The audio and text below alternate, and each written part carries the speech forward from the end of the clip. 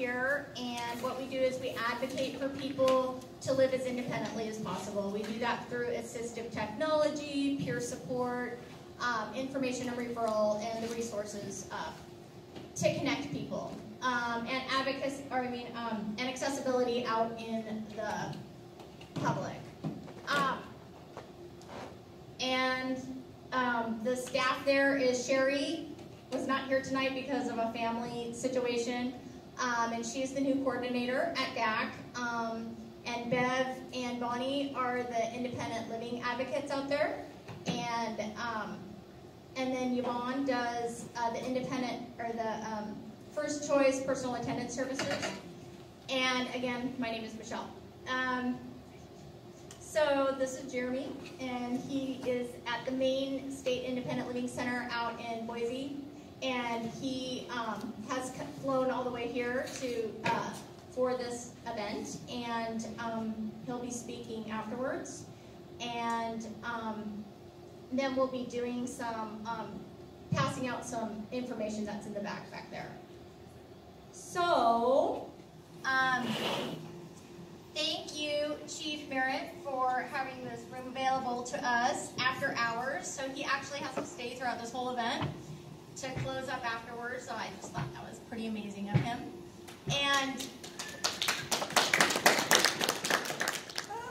so um, in the event of emergency, um, what, wow, emergency, emergency, 911.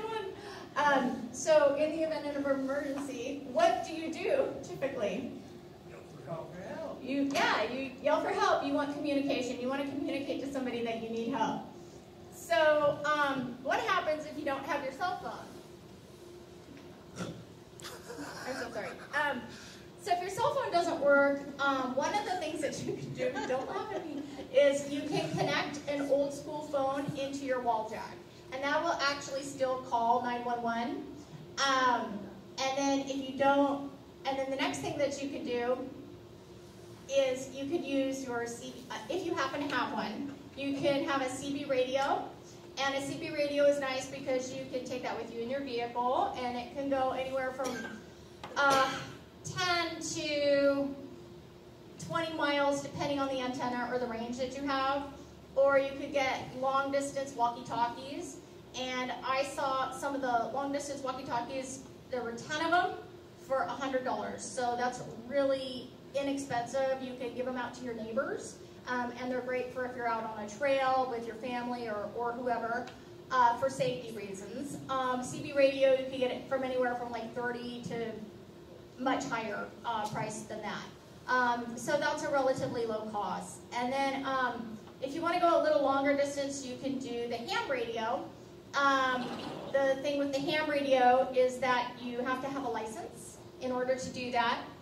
And um, there's actually a group, it's called CARS, and they are in Coeur d'Alene at the sheriff um, station, um, search and rescue.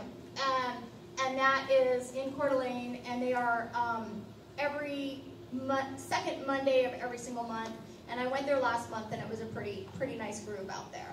Um, and it's a really fun way to get to know other people and the more ham radio users or, or any equipment that you use, um, the easier it is to use it, um, the equipment in our, in our area because that has more antennas. um, so, um, wow, I really went through that fast. Um, communications uh, devices can be fun, and they're a great way to get to know other people. Um, one of the things that I'm really excited about tonight is um, Chief DeRuyter has come up with a form um, for the fire department, um, and he's going to talk to you about that. And if you guys are interested, you could go ahead and sign up. Um, and so I'm going to pass the mic over to him.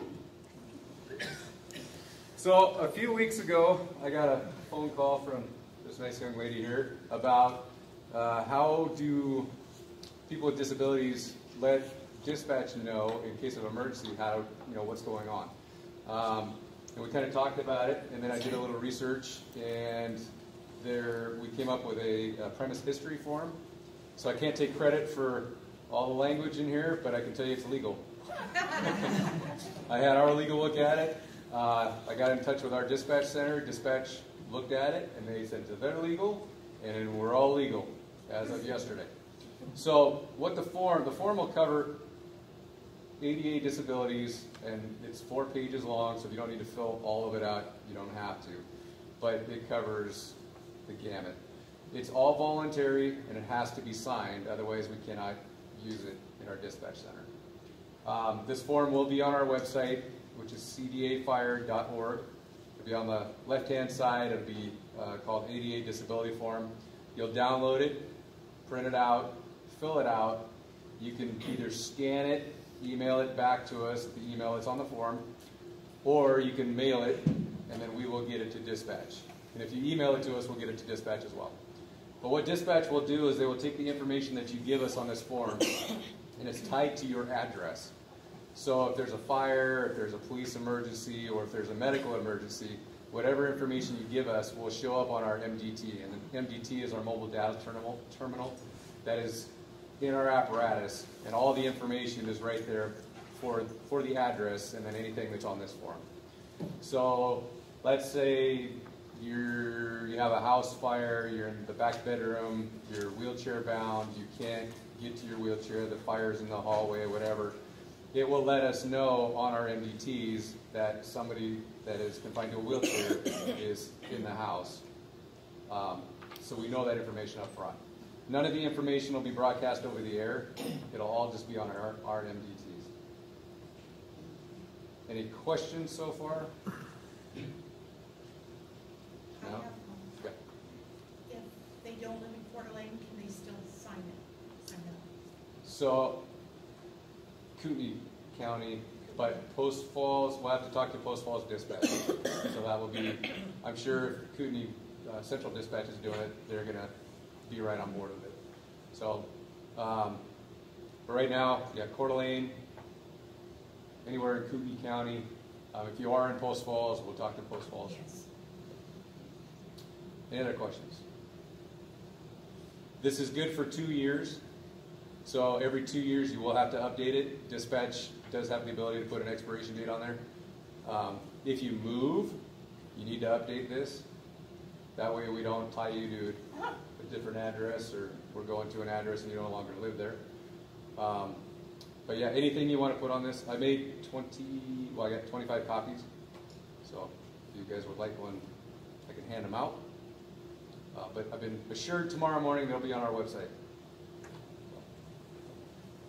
Um, that is great, and I know that the Panhandle Autism Society has worked with the Coeur d'Alene Police to, I don't know if it's a form or what, but again, that communication about those children or young adults that are home that might have, that might be on the autism spectrum. Um, do you, have you heard anything of From-? No, all that, you can enter all that in here as well.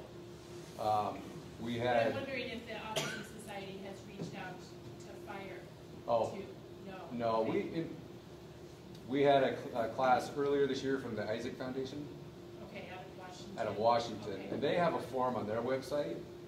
And she was trying to get us to get that into our central dispatch, and I don't know what the issues were with that, but this, the form, this form will cover everything from autism, you know. that is great, because that's what we find that Yep, some and you of can look at this one. children are, or young adults will go and hide.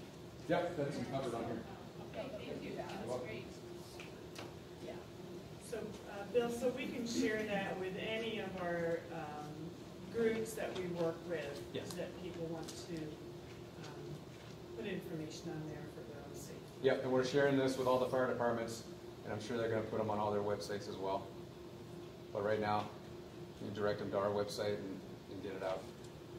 And just to clarify, that is not any type of notification, warning system of anything. It's not like once they sign up there, that then they're signed up for like Alert Kootenai? Oh, no. Right, Nope.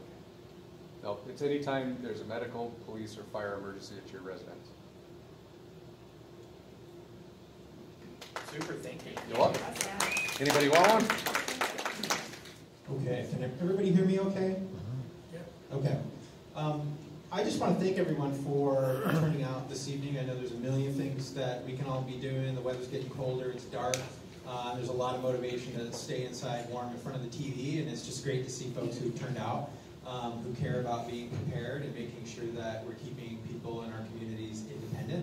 Um, I also want to thank the Kootenai County Fire and Rescue uh, for allowing us to use this building just again. This is an incredible uh, facility and an incredible asset for this county and the area. And uh, y'all are, you know, I'm from the big city down south, but y'all are really lucky to have this here. It's just, it's absolutely beautiful. Uh, it's great to do this presentation here tonight, so thank you for that. Um, my name is Jeremy Maxhand, and I'm the I'm a program specialist with the Idaho State Independent Living Council, and and uh, basically it's a state agency that is focused on uh, promoting independent living philosophy around the state, and we support the work that independent living centers like uh, DAC Northwest, um, their mission and the work they do in the different regions around the state. And basically we're focused on making sure that people um, have their individual choice, self-determination, and access in our communities, and that's uh, what we do. Um, my specific job is to uh, basically provide public education on emergency preparedness. Um, a little bit about me, I uh, grew up in uh, southeast Alaska on a little island called Wrangell uh, in the middle of the Tongass National Forest. And if you follow the biosphere ecosystem from here, kind of northwest up into Alaska, uh, you'll end up in my backyard. So it's really neat to be up here and around the trees and the woods and all that sort of thing. Um, you know, I ended up in a wheelchair when I was about 15. I got something called transverse myelitis. It's really kind of rare, but it you know put me out of commission in terms of uh, climbing trees and mountains and all that sort of stuff. Um, and living on an island in a really isolated place in southeast Alaska, um, you know, being prepared, although people didn't talk about, you know, prepping and being prepared, it was just kind of something that you had to think about um, be, because, you know, your food often, you know, if you didn't hunt and fish, your food came in on barges. There were only two planes that came in a day. Um, and so you're really isolated and kind of dependent on the outside world. So um, this job is a great fit for me because I'm really passionate about being prepared and thinking about um, how do you stay independent, how do you stay safe, and how do you support uh, other people in your community who have disabilities. Um, I'm also a certified ADA coordinator, so I kind of bring that perspective to the table, which is um, you know, knowing how to assess and audit buildings and programs and services for accessibility. We have another ADA coordinator here, which is great um, this evening. And uh, let's see. So tonight, what we're going to do is um, we're going to talk about what it means to be uh, prepared for an emergency or disaster if you have a disability. And we're going to Anybody want to take a, a, guess as to why this is important for us to get together and talk about tonight? And feel free to just blurt it out or raise your hand. Bringing awareness. Awareness. Educate others. Educating others. Specifically for folks with disabilities, what do you think is a real important reason why we're talking about this? To know their options. So people know their options. Um, if you, one of the things that we learned at, at, after Katrina and during some of the major hurricanes in Texas and the fires in California at um, uh, in Paradise, the Camp Fire, was that people with disabilities and older adults are really impacted at a much higher rate than uh, just your average able-bodied folks who, who don't have disabilities. So if you look at the statistics from the fire in California, you'll see that uh, overwhelmingly the people who were you know, injured and were, or ended up losing their lives um, were people who were older or folks who have disabilities. They had trouble getting out, um, getting rides, moving quickly, um, all that sort of stuff. And we also know that in a disaster, people with disabilities who um, are displaced from their communities, who live independently, often end up being institutionalized and never make it back home. So for um, you know, for folks who don't deal with those issues, uh, a disaster could be pretty bad in terms of losing your house or maybe your the business that you worked at.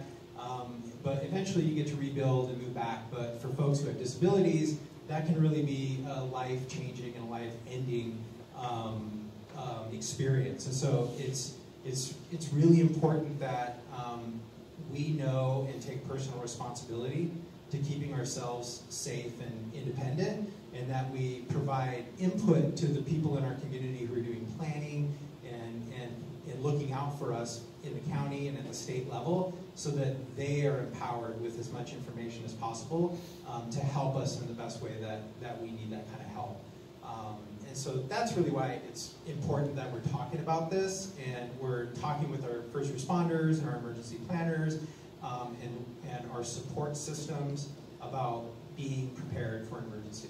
Um, being prepared if you have a disability also, uh, you know, is just also a, peace of mind, right? So you know that you're, you, you've, you've got your, you know, your supplies, you're ready to go. If you end up in a shelter or if you have to shelter in place, um, you have everything that you need to, to stay independent and not end up um, going to the hospital, quite frankly. So it's really, really important stuff. Um, so peace of mind is really important. Um, and it's also important to, to recognize that during a disaster, although we're really fortunate in Idaho that we don't have the kind of battle tempo or battle rhythm that states like Florida and, and California have with kind of these relentless, constant, you know, pounding of hurricanes and fires. Um, you know, there, things can still happen in, in Idaho, and and anyone who's been in a, a disaster, survived a disaster, uh, will tell you that you know they they didn't necessarily think it was going to happen to them, but when it does happen, like you don't have a lot of time to act, and you need to, to move quickly, often. Um, and it's also important to know that a lot of the social uh, services and systems that we rely on to be independent might not be functioning during a disaster. So transportation, um, getting access to pharmacies or medical, uh, durable medical supplies, um, even cell phone communication, those things might not work, so you really need to plan, assuming that those, those aren't going to exist for a little bit of time, okay? Anybody have any questions so far? And feel free to just raise your hand or shout out if you've got a question. Um, this doesn't need to be super formal, and I don't need to be up here like I'm running for office or anything. So um, we'll just we'll just keep it fun. Um, okay, next slide. You got it. You got it. So basically, what we want to talk about are four steps to um, being prepared. One is doing a personal assessment um, of your own situation.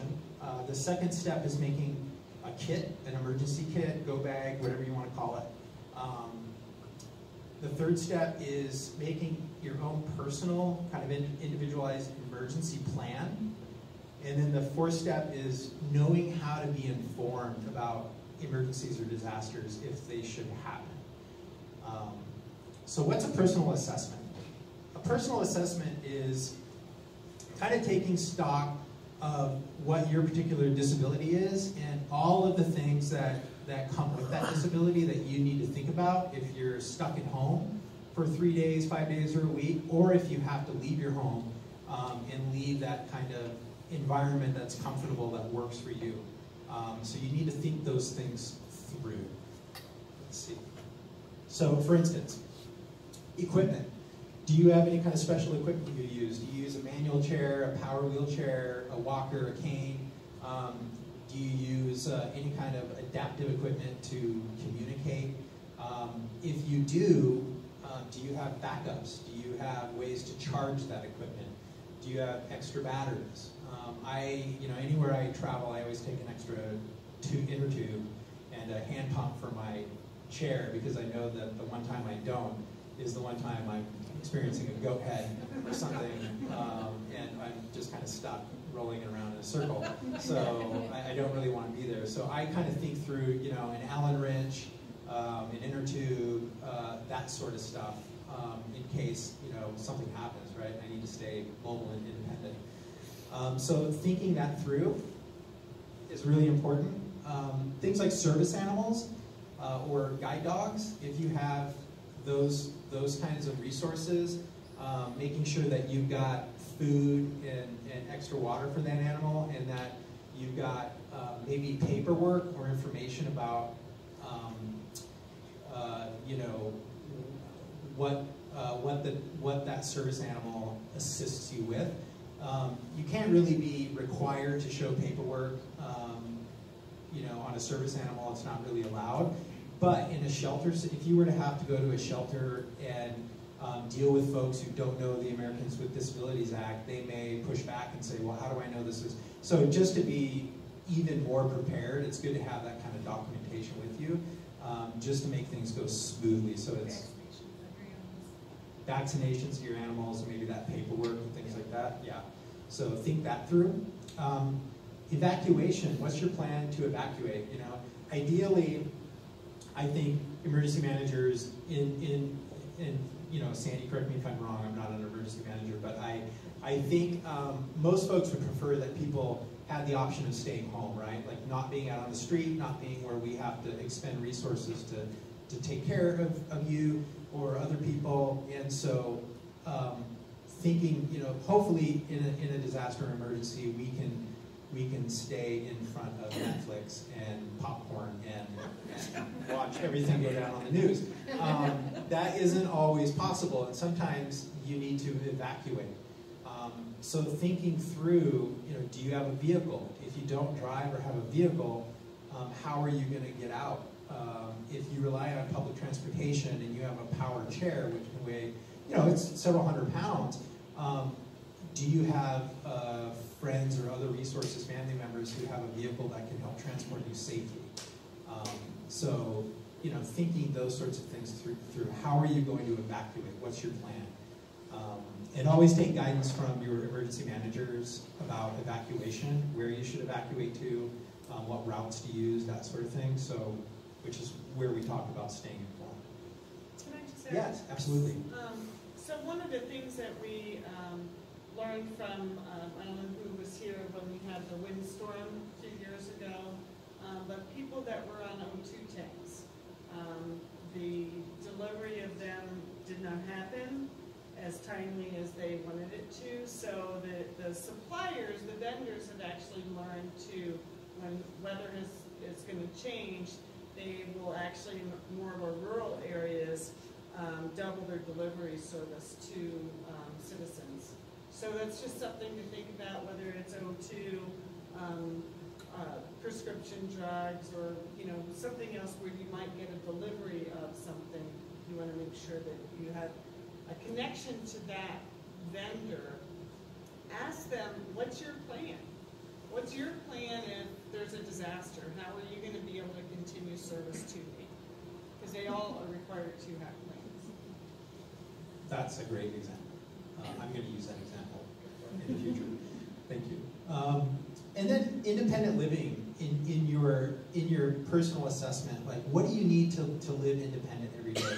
Um, you know, do you cook for yourself, or do you have someone help you cook? Do you you know uh, using the bathroom, um, transferring from beds or chairs, things like that, um, communicating with people. Like these are all things that we um, you know we craft our life around systems and patterns and resources so that we can we can do these things independently for the most part.